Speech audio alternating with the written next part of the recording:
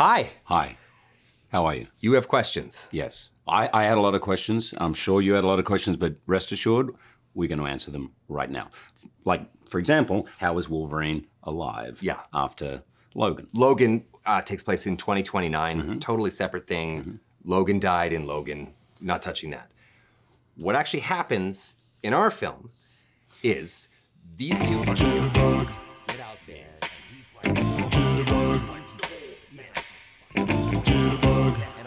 You put the boom boom into my heart. You send my soul sky high when your loving starts. Jitterbug into my